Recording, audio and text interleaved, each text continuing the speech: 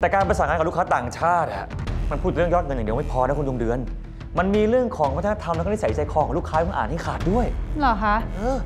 คุณธีรเดชนี่คุยงานกับลูกค้าเองเหรอคะเพราะเท่าที่ดิฉันทราบเนี่ยเห็นโยนงานให้ลูกน้องทำตลอดทำไมยอดของทีมเราเนี่ยถึงไม่กระเตื้องเลยพี่ทีคะเอาตรงๆเลยนะคะ ถึงแม้ว่าประเทศเราจะอยู่ในช่วงขาขึ้น แต่ราคาน้ำมันดิบที่เพิ่มขึ้นบวกกับสงครามที่เพิ่งเริ่ม ลูกค้าเลยกังวลกับความเสี่ยง ไม่กล้าดึงเงินมาซื้อกองทุนเพิ่มหรอกค่ะ พวกคุณอธิบายกองทุนให้น่าสนใจไม่มากพอมากกว่าเฮ้ยนี่ทุกคนทุกคนรู้อะไรไหมทำไมผมถึงให้พวกคุณออกไปขายกันเองที่ผมไม่ได้ไป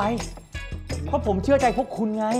ผมให้โอกาสพวกคุณออกไปทำงานเพื่อพิสูจน์ความสามารถ แล้วถ้าพวกคุณขายกันได้ความสำเร็จเป็นของใครของพวกคุณไม่ได้เป็นของผมเลย ถ้าเราพยายามไม่เต็มที่เนี่ย เราก็สามารถโค้ชไอ้ทีมหนึ่งมันตกลงมาจากบัลลังก์ได้ เราสามารถเป็นแชมป์ของไตรมาสนี้ได้ ช่วยกันดิ เราทำงานเป็นทีมกันอยู่แล้ว ความสำเร็จของทีมถือว่าเป็นเครดิตของทุกคน ใช่ไหม ค่ะ เออ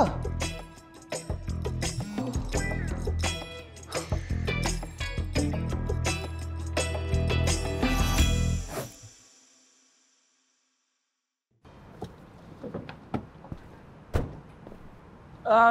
คุณปิติครับคุณปิติเอ่อสวัสดีนะครับ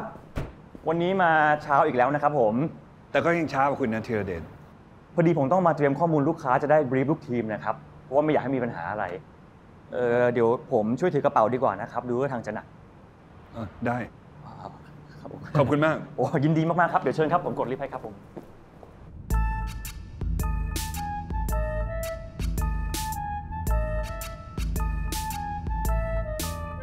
ยอดการขายทีม 2 เป็นยังไงบ้าง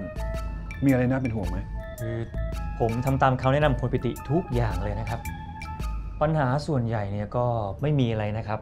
อย่างสัปดาห์นี้เนี่ยทีมของผมก็น่าจะปิดลูกค้ารายใหญ่ได้ 2-3 รายนะครับคุณปิติ ถ้างั้นเตรียมพรีเซนต์อัปเดตให้ผมดูด้วยตอน Morning Talk อะได้เลยครับ ผมเตรียมให้อย่างดีไม่ให้มีอะไรผิดพลาดเลยครับผม ขอบคุณมากนะ มีคนที่ไว้ใจได้อย่างคุณเนี่ย ผมรู้สึกสบายใจขึ้นเยอะยินดีมากๆครับคุณปิติครับ